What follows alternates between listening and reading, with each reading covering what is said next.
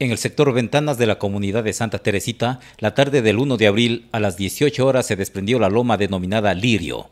Bueno, nosotros estuvimos aquí con la visita de los niños de la catequesis, habían venido a visitar a mi mamá.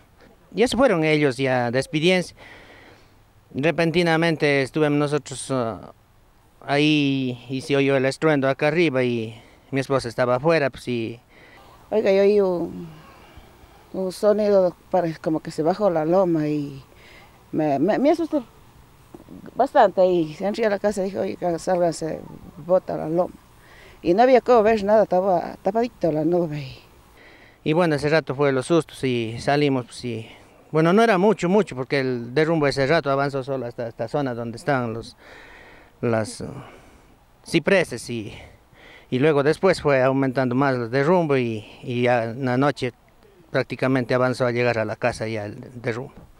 Yo más pensé que era un pequeño temblor, pero después mi mamá dice, salgan, eh, se derrumba y, y, era un momento de, de, tristeza, de angustia, o sea, ¿qué va a pasar con nosotros? Y a los pocos minutos que pasó esto, eh, se vino como a despejar la, el ambiente, el clima y se pudo ver desde dónde se ocasionó el desastre.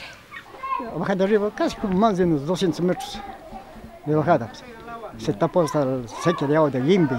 Llegó la noche y por seguridad tuvieron que evacuar, pero ir a Girón era imposible. Y ya no hubo cómo hacer nada en la tarde, en la noche, y tuvimos que evacuar, salir a una casita medio distante de aquí para poder pernotar la noche. Fuimos saliendo de noche para allá a la casa de una prima de Roberto y, y después regresamos para ver qué es lo que, si se ha bajado más y, y por aquí sí estaba enderezando así para allá y y le hicimos unas ganas así para el y de ahí bajó después, entre las 10 ha sido 9 y media, bajó sonando y nos corrimos y dejamos ahí.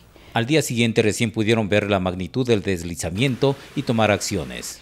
La casa prácticamente está en la parte lateral derecha, está con lodo, se prácticamente se perdió todo lo que estaba ahí y este, en la parte de adentro inferior de la casa está con agua. Desde la montaña, al día siguiente aún se escuchaba un sonido fuerte que causaba la bajada de abundante lodo y piedras. Hoy día están con los compañeros de la comunidad, han venido a echar una mano para ver si se puede hacer algo.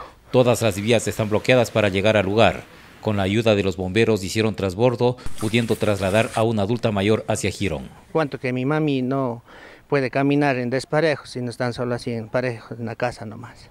Ahorita ya, ya es imposible, estamos cerrados ya por la vía y ahora no sé qué es lo que va a pasar. Lastimosamente hoy, por, hoy no hay cómo irnos por cuanto que la carretera principal está taponada bajo el sector Chatashi y, y la otra vía también que es de acceso es uh, intransitable, está dañada, está con derrumbe, todo, no, o sea, no hay, no hay posibilidad de trasladarnos a Girón. Por... Ahora no hay ni caballos para ir, caballos que para traer las compras. Ahorita en este momento estamos fregados.